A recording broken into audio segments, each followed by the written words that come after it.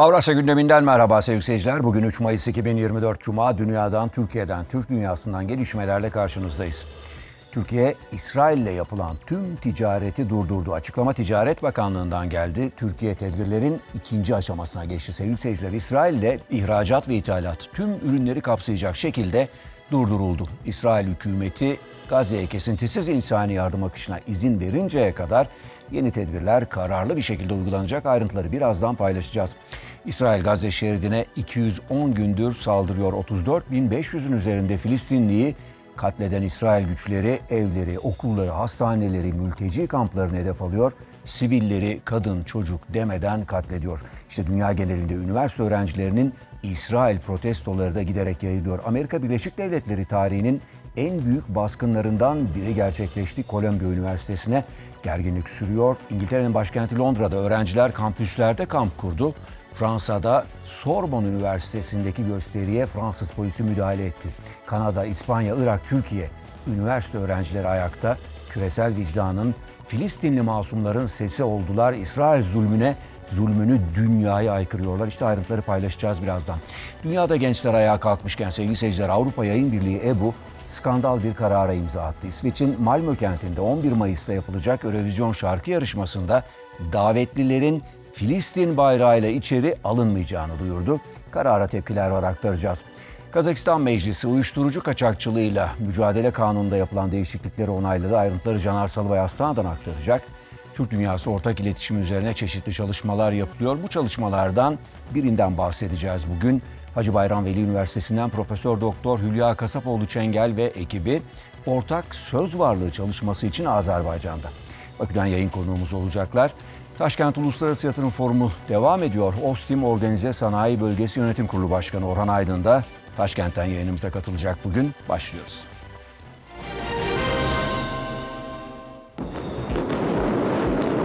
Ticaret Bakanlığı'ndan İsrail'in Gazze'ye saldırılarına yönelik önemli bir adım daha geldi. Bakanlık, İsrail'e tüm ticaretin durdurulduğunu açıkladı. Açıklamada, İsrail ile ilgili ihracat ve ithalat işlemleri tüm ürünleri kapsayacak şekilde durdurulduğu ifadeleri kullanıldı. İsrail Gazze'de katliam yapmayı sürdürüyor. 7 Ekim'den bu yana 34.590'dan fazla Filistinli öldürüldü. Ölenlerin %40'ından fazlası ise çocuk. İsrail tarafından Gazze'de alıkonulan doktor hapishanede hayatını kaybetti. Birleşmiş Milletler Kalkınma Programı İsrail'in yakıp yıktığı Gazze şeridindeki hasara dair verileri açıkladı. Son 40 yılda yapılan yaklaşık 50 milyar dolarlık yatırımın yok edildiği belirtilen açıklamada Gazze'nin yeniden inşasının 10 yıllar alacağı ifade edildi. Amerika Birleşik Devletleri'nde gösterilerin başladığı ve son olarak 300 öğrencinin gözaltına alındığı Kolombiya Üniversitesi'nde gerginlik devam ediyor. Bazı öğrencilerin gözaltına alınan arkadaşlarına destek gösterisi yaptığı üniversitenin çevresi yine hareketliydi. Gazze'ye destek veren öğrenciler dünyanın farklı üniversitelerinde gösteriler düzenliyor. İngiltere'nin başkenti Londra'da öğrenciler kampüslerde kamp kurdu. Fransa'daki Sorbonne Üniversitesi'ndeki gösteriye Fransız polisi müdahale etti. Kanada, İspanya ve Irak'taki üniversitelerde de Gazze ile dayanışma gösterileri vardı. İsrail, Suriye'nin başkenti Şam yakınlarındaki bir noktaya hava saldırısı düzenledi. Saldırıda yaralananlar oldu.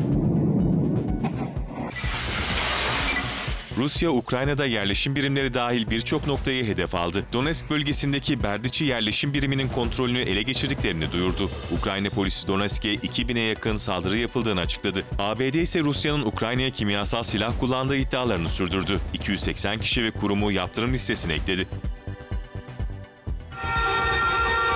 Gürcistan'da 17 Nisan'da yabancı ajan yasa tasarısına ön onay verilmesinin ardından başlayan protestolar devam ediyor. Göstericiler bir kez daha başkent Tiflis'te sokaklara döküldü.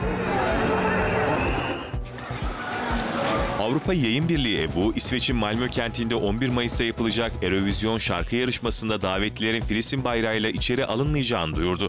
İsveç Filistin grubundan yapılan açıklamada İsrail'in 11 Mayıs'ta yapılacak Eurovision şarkı yarışmasına katılımının Malmö kentinde protesto edileceği duyuruldu. Birçok ülkede karara tepki gösterenler protesto gösterisi düzenledi. Türk devletleri arasındaki iktisadi ilişkiler her geçen gün artıyor. Azerbaycan'ın başkenti Bakü'de Türk Devletleri Ekonomi Forumu düzenlendi.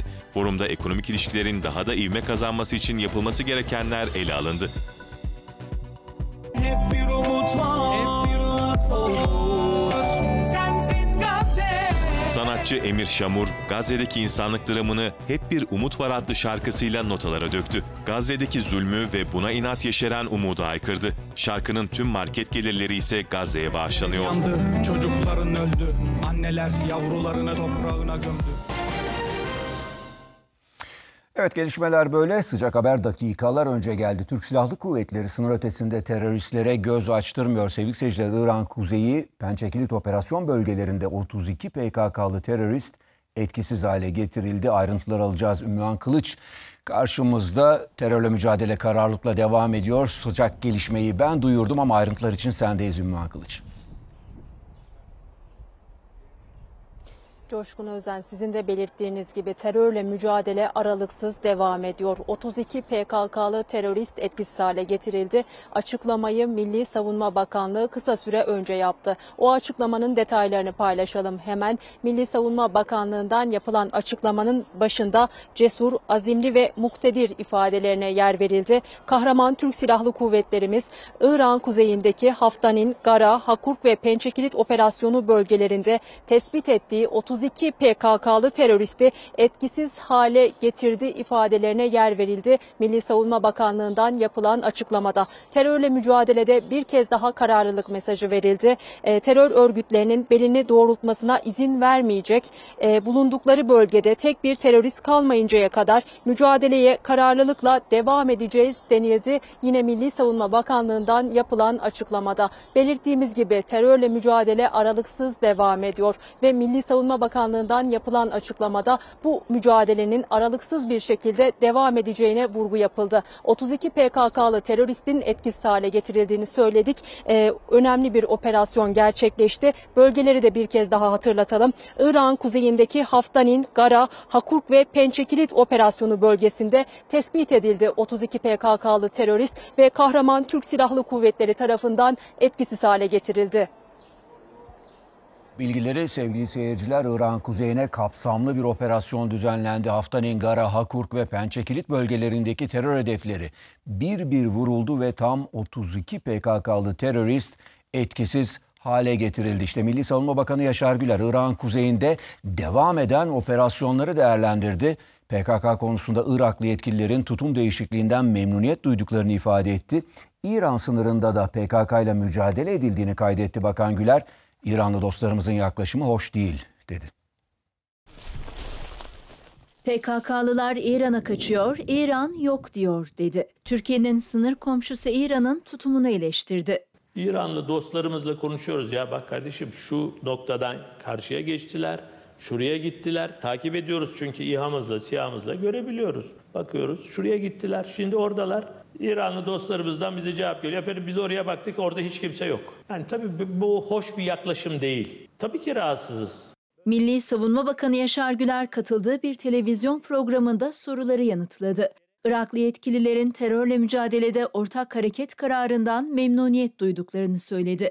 Bu 19 Aralık toplantısında buna çok ısrarcı olduk. Yani bu şekilde biz bu toplantıları, görüşmeleri sürdüremeyiz dedik. Yani sen kardeşim adama terör örgütü demiyorsun. E ben senden terörü konuşmak istiyorum. Onlara da teşekkür ediyoruz tabii. Onlar için de zor bir ortam aslında. Bunu da anlıyoruz, anlayışla karşılıyoruz. Ve inanıyoruz ki Iraklı dostlarımız çok yakın bir zaman sonra çok daha mutlu olacaklar. Kendi vatandaşlarına karşı görevlerini yapmış olmanın huzurunu duyacaklar. Suriye'de DAEŞ'la mücadele adı altında PKK'nın desteklendiğini belirten Bakan Güler, aklımızla dalga geçmeyin dedi. Müttefiklerimiz efendim biz DAEŞ'le mücadele kapsamında işte buradaki silahlı güçlere destek oluyoruz diyor. E biz de diyoruz ki senin silahlı güç dediğin kardeşim PKK'nın kendisi. Biz de dostlarımıza şunu rica ediyoruz. Ya eğer sen bunlara destek oluyorsan kardeşim destek oluyorum de. Bizim aklımızla dalga geçme. Bakan Güler, ismi 10. Anajet Üst Komutanlığı olarak değiştirilen İncirlik'teki üsle ilgili de konuştu. İncirli şu anda gerçek ismi 10. Ana Jet Üst Komutanlığı. Bu Suriye olayları başladıktan sonra ve İncirli'ye biz de F-16'larımızı getirdik, konuşlandırdık. %100 Türkiye Cumhuriyeti'nin kurallarının, kanunlarının ve uygulamalarının geçerli olduğu bir üstür. Yani bu bir Amerikan üssü veya bir Asla. NATO üssü Hiçbir zaman olmadı. değil. Hiçbir zaman olmadı. olmadı. Tamamen Türkiye'nin yönetiminde Sevgili seyirciler, İsrail Gazze'de katliam yapmayı sürdürüyor. 7 Ekim'den bu yana 34.500'den fazla Filistinli öldürüldü. Ölenlerin %40'ından fazlası ise çocuk. İsrail tarafından Gazze'de alıkonulan doktor hapishanede hayatını kaybetti. Yükselen hava sıcaklıkları ve atıklar Gazze'de salgın hastalıklara neden oluyor. İsrail 7 Ekim'den bu yana Gazze şeridini bombalıyor, sivilleri öldürüyor. İsrail'in katlettiği Filistinlilerin sayısı 34.596'ya yükselirken ölenlerin 14.500'ünden fazlası çocuk. 8.000'den fazla Filistinli ise hala enkaz altında kayıp. Gazze şeridine yönelik yoğun İsrail bombardımanı devam ederken Refah kentinde aralarında çocukların da bulunduğu ölü ve yaralıların olduğu bildirildi. Gazze şeridinde alıkonulan Filistinliler İsrail hapishanelerinde hayatlarını kaybediyor. Filistinli doktor Adnan Ahmet Atiye El-Berş, İsrail hapishanesinde öldü. Hamas, El-Berş'in ölümü için uluslararası arenada İsrail'den hesap sorulmasını istedi. Kirlilik ve artan hava sıcaklığı nedeniyle Gazze'liler arasında hastalıklar da hızla yayılıyor. Birleşmiş Milletler Gazze'de sıcaklığın 40 dereceye ulaştığının altını çizdi. Çadır kentlerde barınan Filistinlilerin atıklarla iç içe yaşadığını belirtti. Yerlerinden edilen Filistinlilerin kirlilik nedeniyle hepatit A ve diğer viral hastalıklara yakalandığını açıkladı. Evet sevgili seyirciler İsrail Gazze şeridine 210 gündür saldırıyor. 34.500'ün üzerinde Filistinliyi katletti İsrail güçleri. On binlerce evi, yüzlerce camiyi, okulu, hastaneyi yerle bir etti. Tonlarca moloz yığını arasında yaşam mücadelesi veriyor Filistinliler. Gıda ve hijyen kriziyle de karşı karşıyalar. İsrail Gazze şeridini havadan, denizden ve karadan bombalıyor. Evleri, okulları, hastaneleri, mülteci kamplarına hedef alıyor, sivilleri katlediyor. İsrail ordusu Gazze'de 210 günde 34.500'den fazla Filistinliyi katletti. Hayatını kaybedenlerin 14 binden fazlası çocuk. Katledilen 10 binin üzerinde Filistinlinin hala enkaz altında olduğu düşünülüyor. İsrail'in güneydeki Refah kentine düzenlediği son saldırıda 4'ü çocuk 7 Filistinli hayatını kaybetti. İsrail Gazze şeridine hedef gözetmeden saldırıyor. 7 Ekim'den bu yana 79 bin ev, 243 cami, 103 okul ve üniversite yerle bir oldu. 370 bin konut ve 300'den fazla eğitim kurumu da hasar gördü. İsrail, Gazze'deki katliamı dünyaya duyurmaya çalışan gazetecileri de hedef alıyor. Gazze'de 141 gazeteci İsrail saldırılarında katledildi.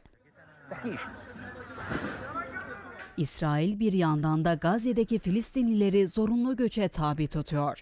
Nüfusun %85'inden fazlası yani 1 milyon 900 binden fazla Filistinli yerinden edildi. İsrail, yerinden ettiği Filistinlilerin sığındığı refah kentine karadan da saldırı düzenleyeceği tehdidinde bulunuyor.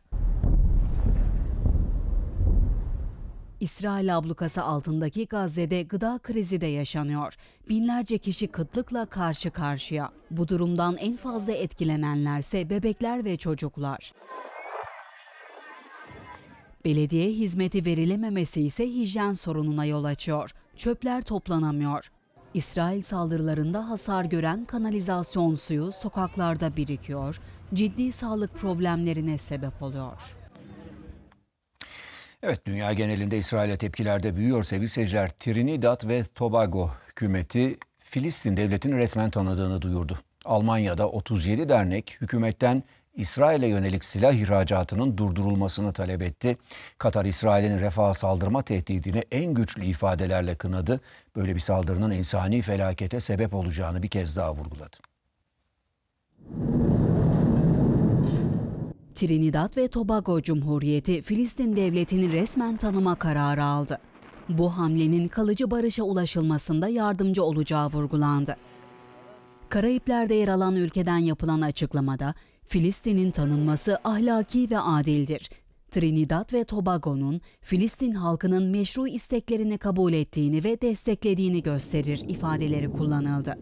Böylece Filistin'i tanıyan ülkelerin sayısı 141'e çıkacak. Almanya'da 37 dernek hükümetin İsrail'e silah ihracatını durdurmasını istedi.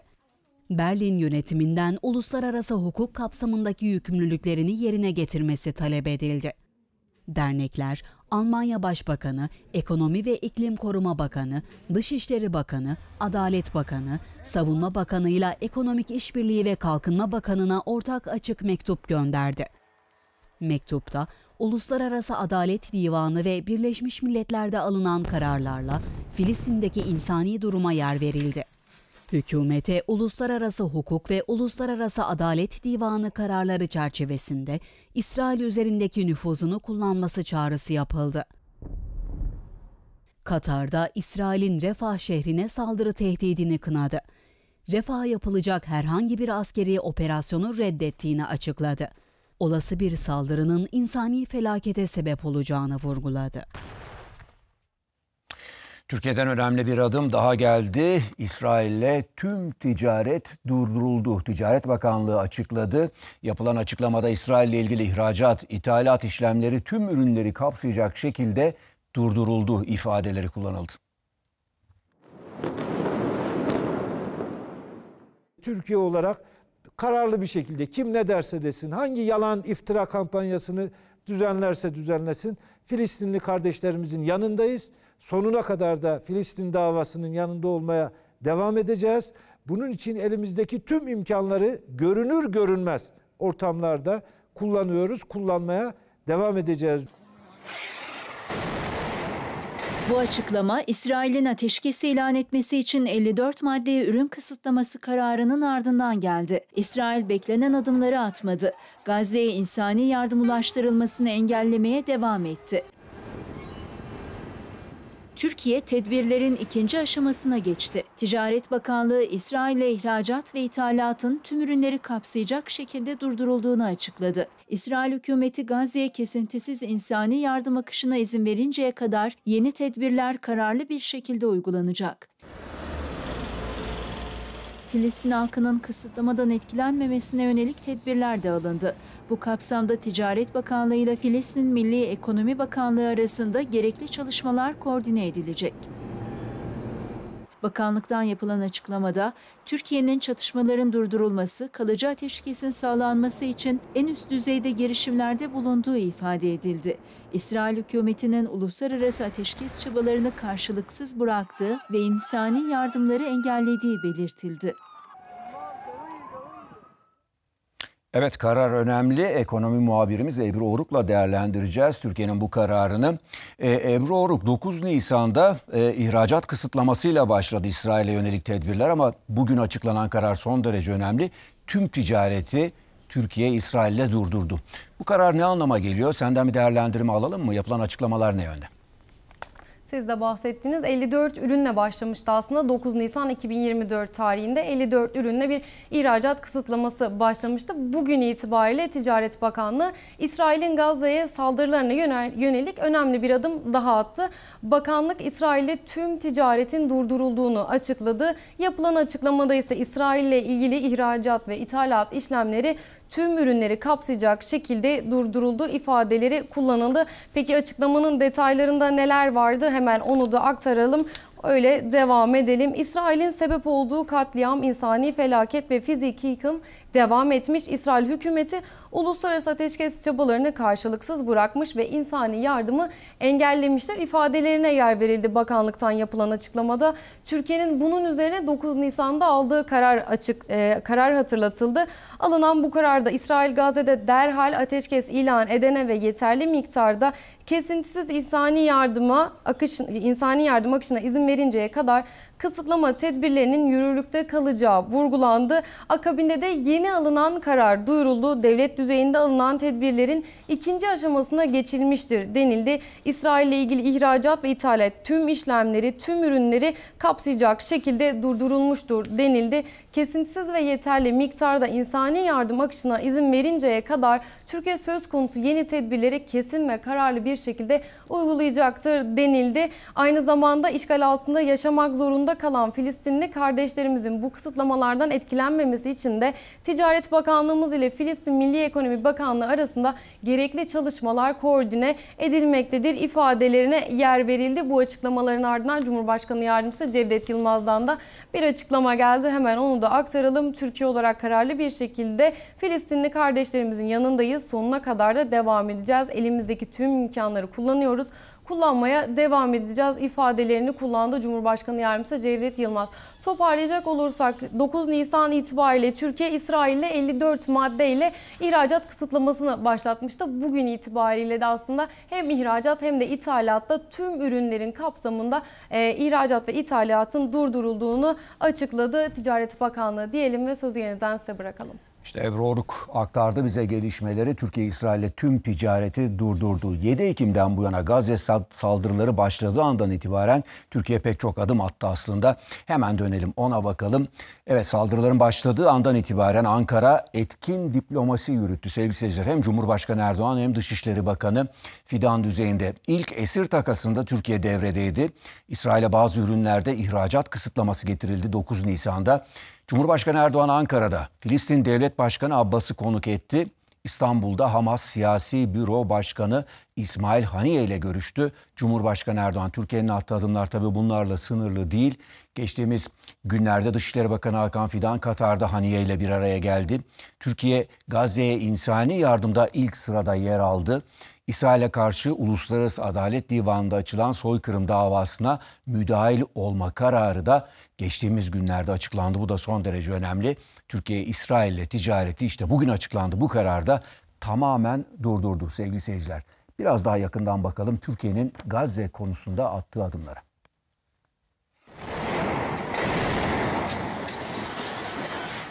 Tek başıma kalsam dahi Allah ömür verdikçe Filistin mücadelesini savunmaya, mazlum Filistin halkının sesi olmaya devam edeceğim, devam edeceğiz.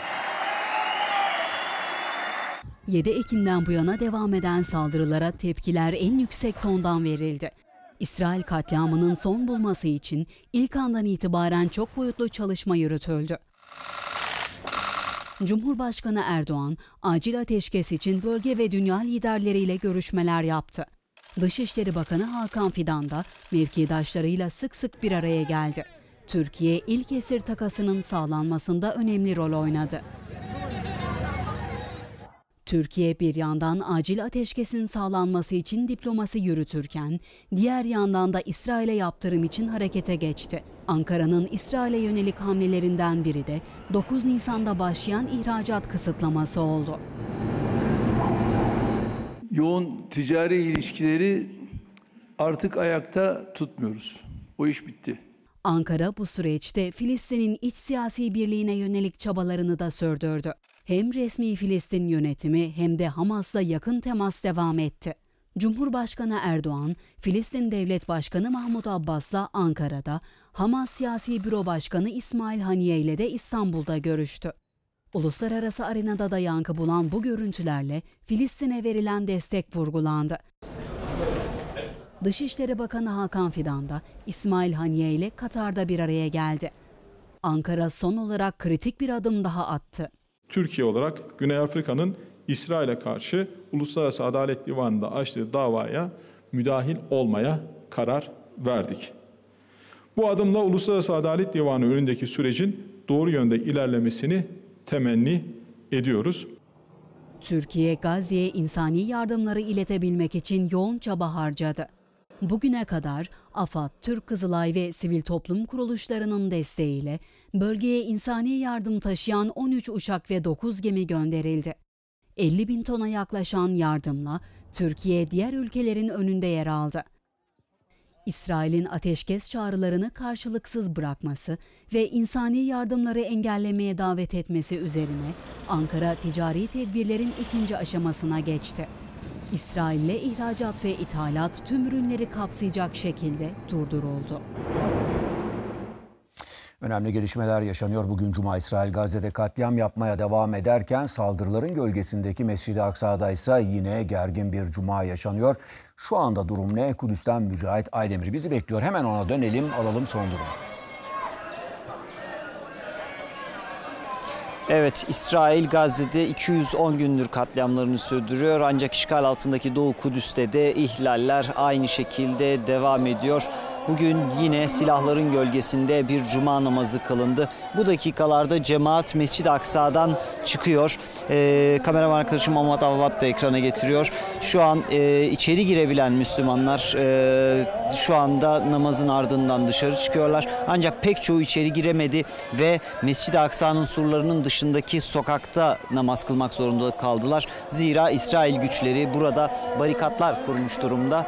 Ee, Burası barikatın son noktası ancak bu barikattan önce en az 2-3 barikattan daha geçerek e, Mescid-i Aksa'ya ulaşıyordu normalde Filistinliler. Yanlarında seccadelerini alarak geldiler. İçeri giremeyenler seccadelerini yola sererek namazlarını kıldı. Aynı zamanda elbette e, bunun bu e, hemen hemen her cuma namazında özellikle Gazze'deki saldırıların gölgesinde devam eden kısıtlamalar ve ibadet özgürlüğüne yönelik İsrail'in engelleri durumunda işgal altındaki Doğu Kudüs'te. Ancak Gazze'de de elbette gözler Rafah'ta. İsrail ordusu ve İsrail hükümeti uluslararası uyarılara rağmen bir felaket niteliğinde olabileceği noktasındaki uyarılara rağmen Gazze'nin Rafah kentine operasyon düzenleme hazırlığında ve e, Rafah'ta 1,5 milyon yerinden edilmiş Filistinli bulunuyor. Dolayısıyla oraya düzenlenecek bir kara operasyonunun şu an yaşanan insani felaketin de ötesinde daha büyük bir felakete yol açacağı uyarısı yapılıyor diyelim ve sözü yeniden size bırakalım. Evet Mücahit Aydemir Kudüs'ten Mescid-i Aksa'dan son durumu paylaştı bizimle. Sevgili seyirciler Amerika Birleşik Devletleri'nde gösterilerin başladığı ve son olarak 300 öğrencinin gözaltına alındığı Kolombiya Üniversitesi'nde gerginlik devam ediyor. Bazı öğrencilerin gözaltına alınan arkadaşlarına destek gösterisi yaptığı üniversitenin çevresi yine hareketli. Amerika Birleşik Devletleri'nde üniversitelerde başlayan protestoların simgesi oldu. İki haftada 400'ün üzerinde öğrencisi gözaltına alındı. Amerika Birleşik Devletleri tarihinin en büyük baskınlarından birinin gerçekleştiği Kolombiya Üniversitesi'nde gerginlik sürüyor. New York'ta Kolombiya Üniversitesi'nde gerçekleştirilen polisin o dev operasyonun ardından öğrenci kimlik kartı olmayanların içeriye girişlerine izin verilmezken bölgede polisin önlemleri de devam ediyor. Üniversite çevresi gün boyunca yine hareketliydi. Gözaltına alınan arkadaşlarına destek vermek isteyen bir grup okulun önünde eylem yaptı. Göstericiler New York polisinin Kolombiya Üniversitesi'ni boşaltmasını istedi. Başta Amerika Birleşik Devletleri kanallarından olmak üzere birçok basın mensubu da Kolombiya Üniversitesi ile ilgili gelişmeleri okul çevresinde yakından takip etti. Gazze'ye destek veren öğrenciler dünyanın farklı üniversitelerinde gösteriler düzenlemeye devam ediyor. İngiltere'nin başkenti Londra'da öğrenciler kampüslerde kamp kurdu. Fransa'da Sorbonne Üniversitesi'ndeki gösteriye Fransız polisi müdahale etti. Kanada, İspanya ve Irak'taki üniversitelerde de Gazze ile dayanışma gösterileri vardı. Üniversite öğrencilerinin Amerika Birleşik Devletleri'nde başlayan Gazze'ye destek gösterileri farklı ülkelerde yayılarak sürüyor. Londra'daki University College London'da öğrenciler Gazze için kampüste kamp kurdular. Öğrenciler talepleri kabul edilene kadar eylemlerine devam edeceklerini açıkladılar. Üç talebimiz var. Birincisi, üniversite İsrail ile suç ortaklığı bulunan şirketlerle ilişkisini kesmeli. İkincisi, üniversite işlenmekte olan suçları kınamalı. Üçüncüsü de Gazze'de yıkıma uğramış üniversitelerin yeniden inşasına söz vermeli. Fransa'nın başkenti Paris'teki Sorbonne Üniversitesi'ndeki gösterilere Fransız polisi müdahale etti. Polis öğrencilere biber gazı kullandı, kurulan çadırları yıktı. Kampüsten çıkarılan öğrenciler Filistin bayrağı açarak eylemlerini sürdürdü. Kanada'daki Toronto Üniversitesi öğrencileri de kampüste Gazze için dayanışma kampı kurdu. Öğrenciler ateşkes sağlanana dek gösterilerini sürdüreceklerini duyurdu. Üniversite öğrencilerinin İsrail'e karşı seslerini yükselttiği bir diğer ülkede İspanya. Valencia kentinde öğrenciler Valencia Üniversitesi önünde kamp kurdular. Tüm dünyayı soykırıma karşı ayağa kalkmaya çağıran öğrenciler acil ateşkes çağrısı yaptı. Irak'ın başkenti Bağdat'ta da Filistin'e destek gösterileri vardı. Bağdat Üniversitesi öğrencileri ve akademisyenleri İsrail'in Gazze'ye yönelik saldırılarını protesto etti. Dünyanın farklı noktalarında gösteri yapan öğrencilere yönelik polis şiddetinin durmasını istedi. İstanbul'da Boğaziçi Üniversitesi öğrencileri Amerika Birleşik Devletleri'nde günlerdir süren Filistin protestolarına destek verdi. Öğrenciler zulme gösterdikleri tepki için şiddete maruz kalan öğrenci ve akademisyenlerin yanındayız dedi. Bir diğer protestonun adresi ise Sultanahmet Meydanı'ydı. Filistin bayraklarını aldılar. Üniversite kampüsünde Gazze halkına destek çağrısında bulundular. Boğaziçi Üniversitesi öğrencileri Amerika Birleşik Devletleri'nde Filistin için eylem yapan öğrencilere destek verdi. Bugün de burada ABD'de Siyonist rejimin zulmüne gösterdikleri tepki sebebiyle şiddete maruz kalan öğrenci ve akademisyenlere desteğimizi göstermek için toplandık. Yaşanan soykırıma ve soykırımın destekçilerine karşı protestolarında öğrenci ve akademisyenlerin yanındayız. Boğaziçi Üniversitesi İslam Araştırmaları Kulübü öğrencileri üniversitenin Güney Meydanı'nda toplandı. Öğrenciler Türkçe, İngilizce ve Arapça dillerinde terörist İsrail ve özgür Filistin'in yanındayız yazılı dövizleri taşıdı. Boğaziçi Üniversitesi öğrencileri olarak bu insani ve vicdani başkaldırıya biz de katılıyoruz. Filistin'in izzetli halkına karşı işlenen insanlık suçunun bir an önce son bulmasını ve Siyonist zalimlerin cezalandırılmasını Yüce Allah'tan niyaz ediyoruz. Türkçe, Arapça ve İngilizce bildiri okundu.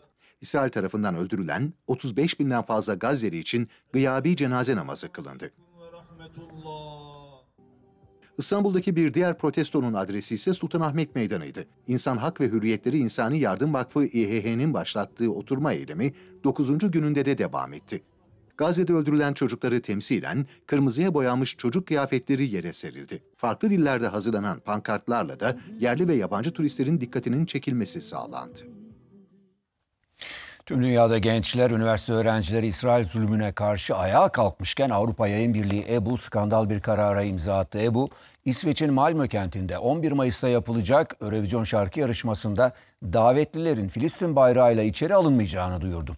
İsveç-Filistin grubundan yapılan açıklamada İsrail'in 11 Mayıs'ta yapılacak Eurovision şarkı yarışmasına katılımının Malmö kentinde protesto edileceği duyuruldu. Birçok ülkede karara tepki gösterenler protesto gösterisi düzenledi. Eurovision şarkı yarışmasında davetliler Filistin bayrağıyla içeri alınmayacak. Tepki çeken bu kararı Avrupa Yayın Birliği EBU aldı.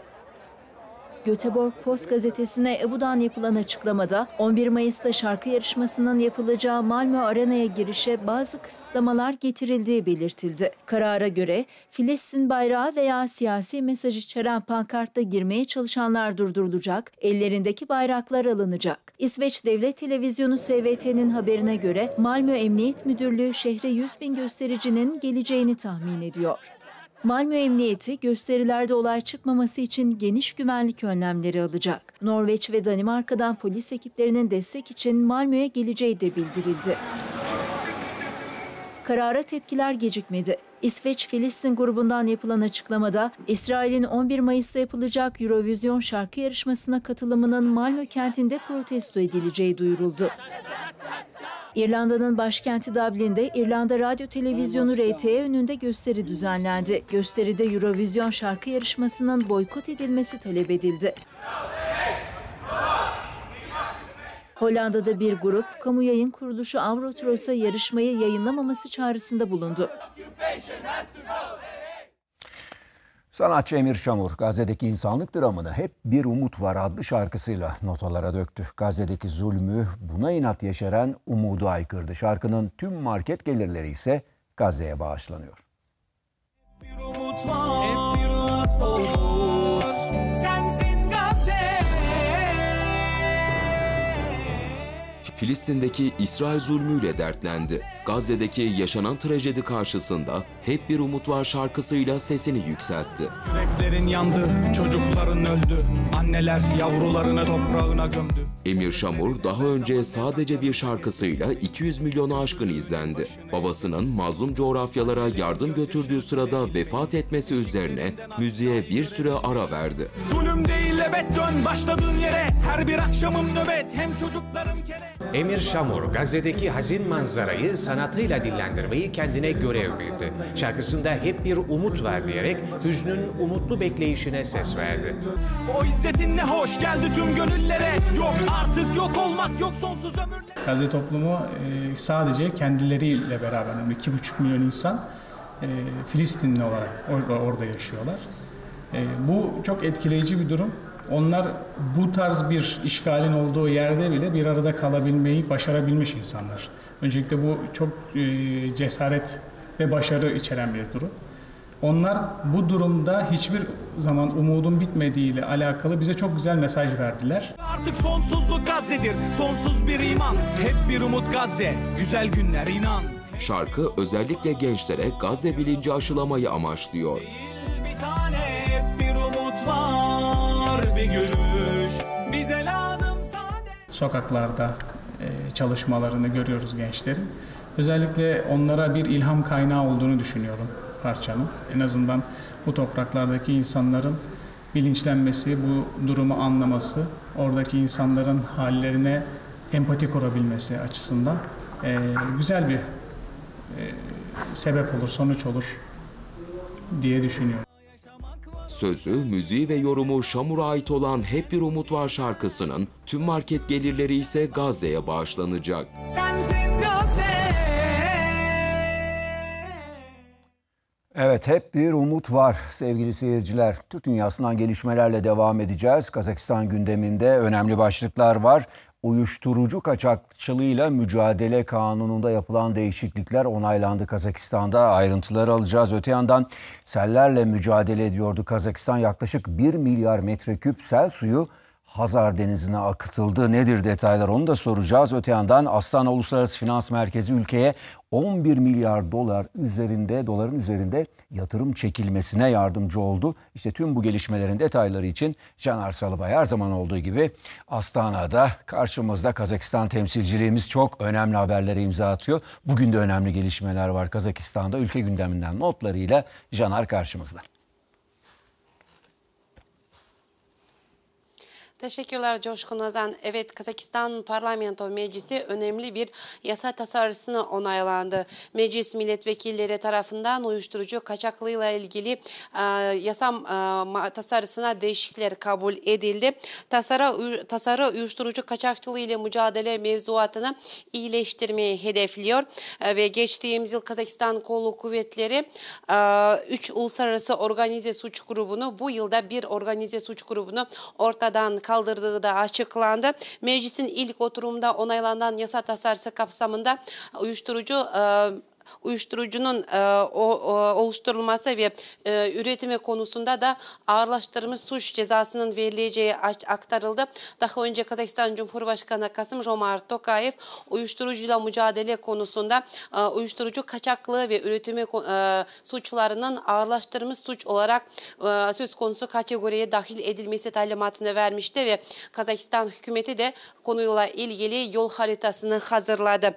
Öte yandan sizin de dediğiniz gibi Kazakistan selin izlerini kaldırmaya devam ediyor. Acil Durumlar Bakanlığı tarafından yapılan açıklamada şu anda 5000'den e, fazla konutun su altında olduğu açıklandı ve o toplamda 11 binden fazla konut selden e, selden zarar gördü. Aynı zamanda bugün Kazakistan Su Kaynakları ve Sulama Bakanlığı'ndan bir açıklama yapıldı ve Atrav bölgesinde 4 kanaldan Hazar Denizi'ne 1 milyar metreküp sel suyunun aktarıldığı açıklandı ve bu konuda da Atrava bölgesinde yaklaşık 15 metre kilometre e, uzunluğunda bir kanalın kazıldığı da e, belirtildi. Aynı zamanda Kazakistan'ın en büyük göllerinden biri olan Balkaş Gölü'ne de Kapşagay Rezervuarı'ndan 2,5 milyar metreküp suyun da akıtıldığı açıklandı ve Kazakistan'ın e, selden etkilenen bölgelerinde hasar tespit çalışmaları devam ediyor. Aynı zamanda ülkeye yatırım yabancı yatırım çekme konusunda çalışmalarını devam ediyor. Astana Finans Merkezi tarafından yapılan açıklamada merkezin Kazakistan'a 11 milyar dolar yatırımının çekmede yardımcı olduğu belirtildi. Kazakistan Cumhurbaşkanı Kasım Jomart Tokayev Astana Finans Merkezi Müdürü Renat Bekturov'u kabul etti ve görüşme sırasında 2023 yılı ve bu yılın ilk 3 aya dahil olmak üzere çekilen toplam yatırımın da 11 milyar doları aştığı belirtildi ve 2023 yılında Astana Finans Merkezi'ne 650'den fazla yabancı şirket kaydet, kaydoldu ve geçtiğimiz yıl ve bu yılın ilk ilk e, ilk 3 ayında yabancı şirketler Kazakistan bütçesine yaklaşık 49 milyar tenge e, vergi ödedi. Bikturov'a göre finans merkezinin yabancı yatırım çekme konusundaki çalışmaları devam edecek. Biliyorsunuz Kazakistan Cumhurbaşkanı e, Kasım Jomart Tokayev ülkedeki ekonomik durumu iyileştirmek ve yabancı yatırım çekme konusunda yabancı yatırımcılar için özel şartların oluşturduğunu daha önce açıklamıştı diyelim ve sözü tekrar size bırakalım. Çok teşekkür ediyoruz. Caner Salıbay Kazakistan gündeminden notlarıyla karşımızdaydı Astana'dan. Azerbaycan'a gideceğiz. Birazdan Türkiye Büyük Millet Meclisi Milli Eğitim, Kültür, Gençlik ve Spor Komisyonu Başkanı Mahmut Özer Bakü'de temaslarda bulundu. Özer, Türkiye-Azerbaycan Üniversitesi ile Türkiye'nin Türk dünyasındaki ortak üniversite sayısının 3'e çıkacağını söyledi. Ülkeler arasında kurulacak diyaloğun eğitim, kültür, ortak tarih ve coğrafya bilinciyle desteklenmesi lazım dedi. Türkiye Büyük Millet Meclisi Eğitim Komisyonu 6. Kültürler Arası Diyalog Forumu kapsamında Azerbaycan'da ziyaretler gerçekleştirdi. Türkiye Büyük Millet Meclisi Milli Eğitim, Kültür, Gençlik ve Spor Komisyonu Başkanı Mahmut Özer, Milli Eğitim Bakanlığı'na bağlı Bakü Türk Anadolu Lisesi'nde öğrencilerle bir araya geldi. Özer, yeni eğitim döneminde faaliyete geçecek Türkiye-Azerbaycan Üniversitesi'nin öneminden bahsetti. Türkiye'nin Türk dünyasındaki ülkelerle ortak üniversite sayısının arttığını söyledi. Türkiye-Azerbaycan Üniversitesi'nin kurulmasıyla birlikte Türk dünyasındaki üniversite sayımızı da karşılıklı kurulan üniversite sayımızı da 3'e çıkartmış olacağız. Bu ne için önemli? Ülkeler arasındaki diyalogda sadece ekonomik düzeyde bir diyalog, sürdürülebilir bir diyalog değil. Eğitimle desteklenmesi lazım, turizmle desteklenmesi lazım, kültürle, tarihle, ortak coğrafya birincisi, bilinciyle desteklenmesi lazım. Mahmut Özer, Bakü'de düzenlenen Türk Devletleri Ekonomi Forumu'nda da konuştu. Son 20 yılda elde edilen kazanımlara vurgu yaptı. Türk devletleri arasındaki iktisadi faaliyetler her geçen gün kapasitesi artarak devam etmektedir. Yaklaşık 42 milyar dolarlık bir iktisadi hacme kapasiteye ulaşmıştır. İnşallah bu çok daha güçlü bir şekilde gelişmesine devam edecektir. Özer, Türkiye'nin son yıllarda her alanda sağlamış olduğu büyüme ve gelişmeyi Türk devletlerindeki kardeşleriyle kapsamlı bir şekilde paylaşmaya hazır olduğunu söyledi. Evet her alanda tecrübemizi paylaşmaya hazırız Türk devletleriyle. Sevgili seyirciler, Türk Dünyası ortak iletişimi üzerine de çeşitli çalışmalar yapılıyor. Bu çalışmalardan birinden bahsedeceğiz bugün. Hacı Bayram Veli Üniversitesi'nden Profesör Doktor Hülya Kasapoğlu Şengel ve ekibi ortak söz varlığı çalışması için Azerbaycan'da muhabir arkadaşımız Fatih Avanos'un yayın konuğu olacaklar. Hemen o noktaya döneyim, dönelim ve çalışmaya ilişkin detayları alalım.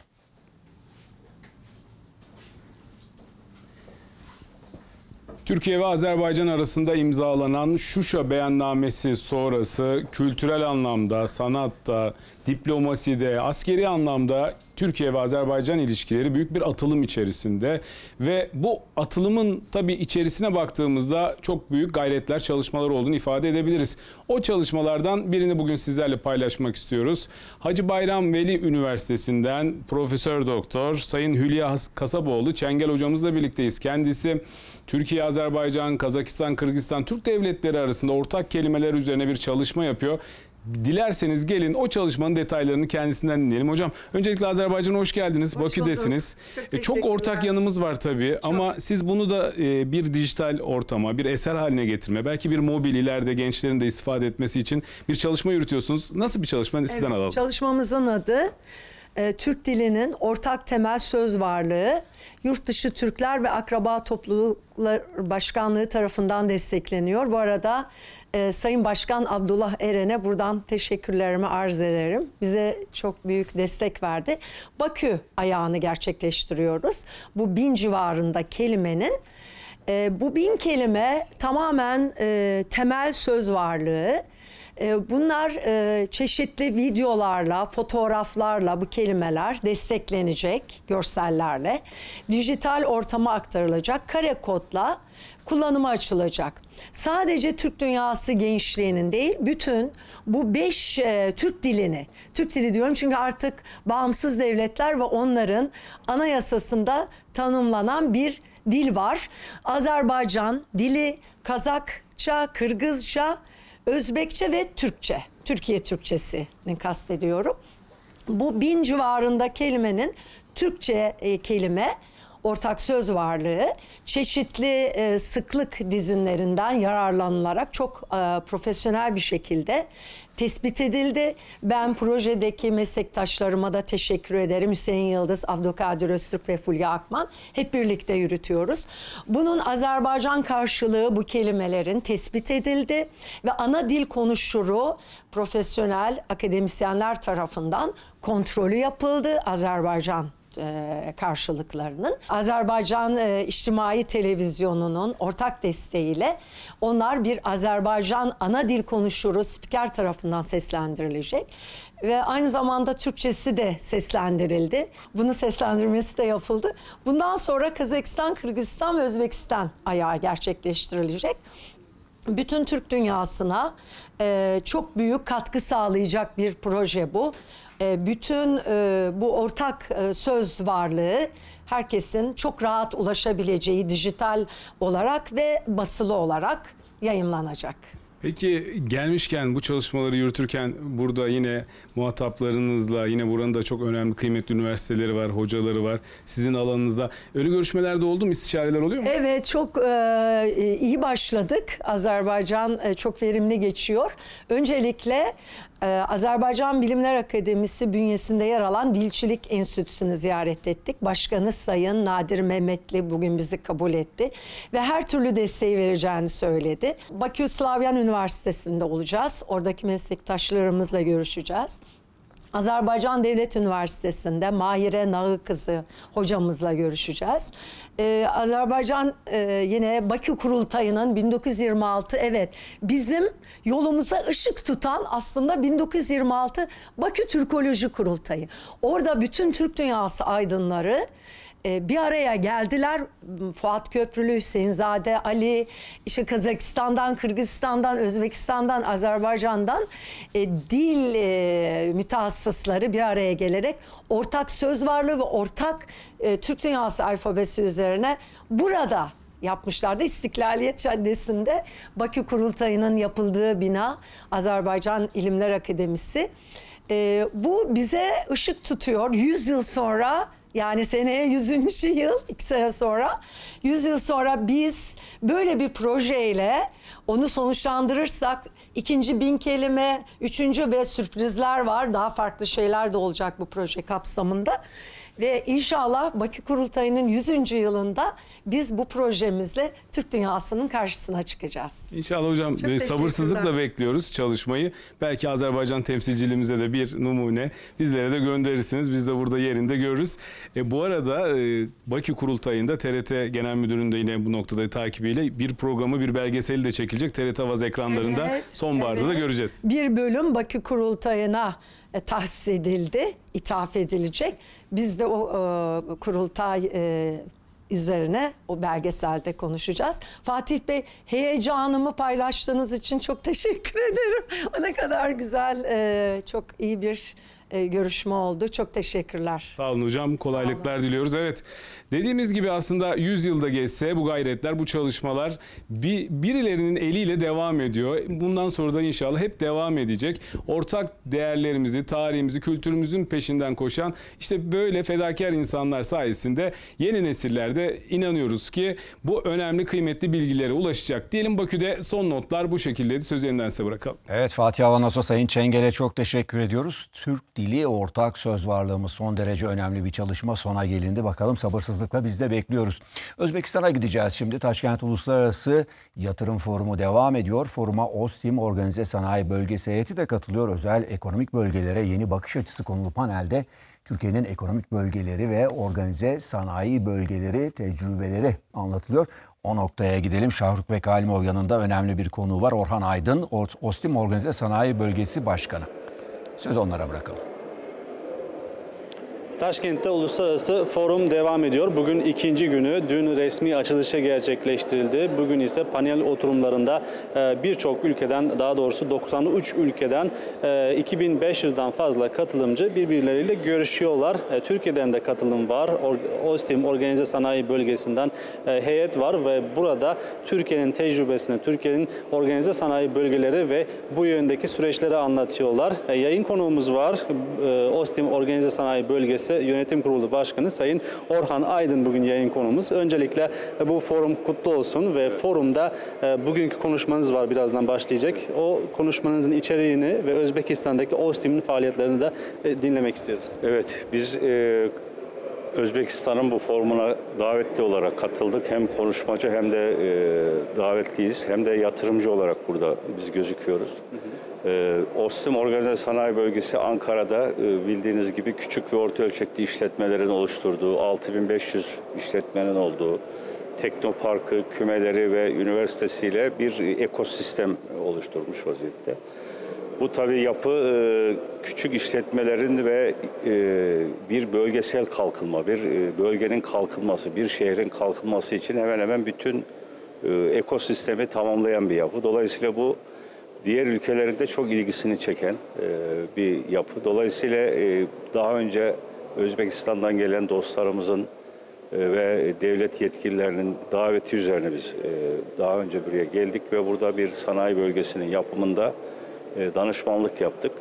Şimdi de yine burada biz bize devlet bir alan tahsis etti. Burada bir OSTİM ismi olan bir alanı yapmak üzere bize e, tahsis ettiler. OSTİM olduğu için tahsis ettiler. Biz burada yine bir çözüm ortağımızla beraber e, orada bir e, sanayi bölgesinin yapılmasını, işletilmesini ve Türkiye modelini buraya e, taşımak istiyoruz. Buradaki sanayinin gelişmesi için birikimlerimizi e, burada paylaşmak istiyoruz. Ayrıca tabii bu panelde de bizim organize sanayi bölgemizin modeli yine e, tartışılacak. Bu panelde ben konuşmacı olacağım. Ee, tabii bizim bölgemiz sadece bir sanayi bölgesi değil, ee, sadece bir binaların olduğu bir yer değil.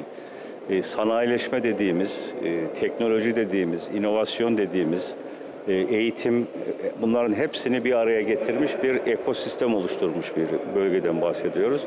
E, dolayısıyla bu bir bölgesel kalkınma modeli. Yani bir şehri, bir ülkeyi, bir e, beldeyi kalkındırmak istiyorsanız burada ki bütün e, bileşenler bu sistemin içinde var. Dolayısıyla şimdi e, dün de yine burada bir e, ilçenin kaymakamıyla e, görüşme yaptık.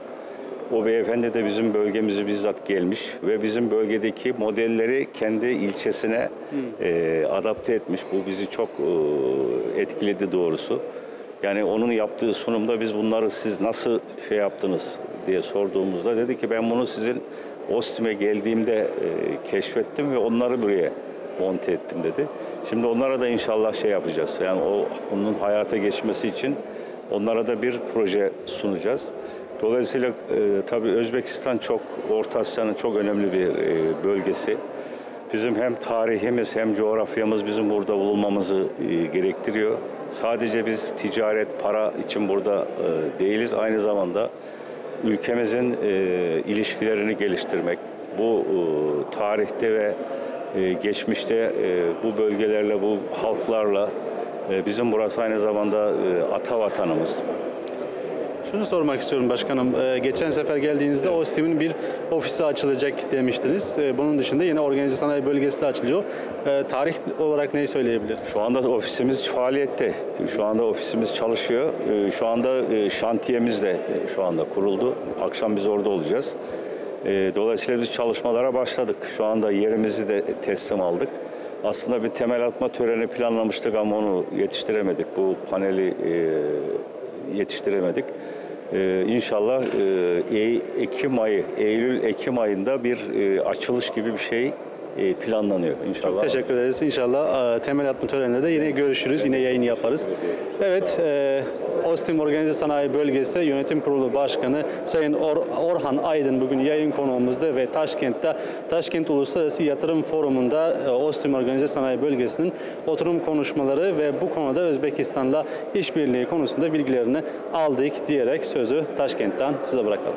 Evet Sayın Aydın'a, Şahruk Bek Halimova teşekkür ediyoruz. Bu güzel röportaj için Türk dünyasının nabzını canlı bağlantılarla tuttuk. Avrasya gündeminin sonuna geliyoruz yavaş yavaş. Sevgili seyirciler ilkbaharla birlikte muhteşem manzaralar ortaya çıkıyor. Bunlardan biri de Karadeniz bölgesinin ünlü Ayder Yaylası. Dünya Doğayı Koruma Vakfı'nın koruma altına alınması gereken 200 ekolojik bölge arasında gösterdiği Kaçkarlar'da bulutlar seyirlik görüntüler oluşturdu. Yaylayı kaplayan bulutlar rengarenk açan çiçeklerle birleşti. İşte ortaya göz alıcı bir manzara çıktı.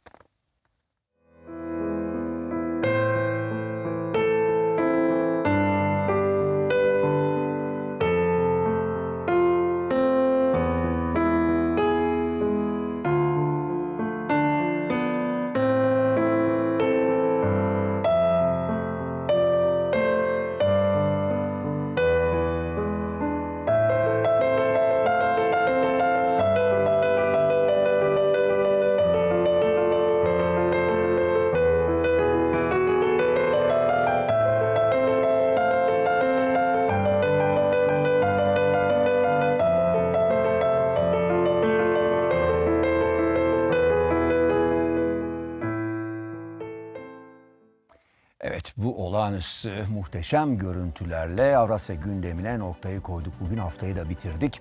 Pazartesi günü dünyadan, Türkiye'den, Türk dünyasından gelişmelerle biz yine karşınızda olacağız. İyi bir hafta sonu geçirmeniz dileğiyle.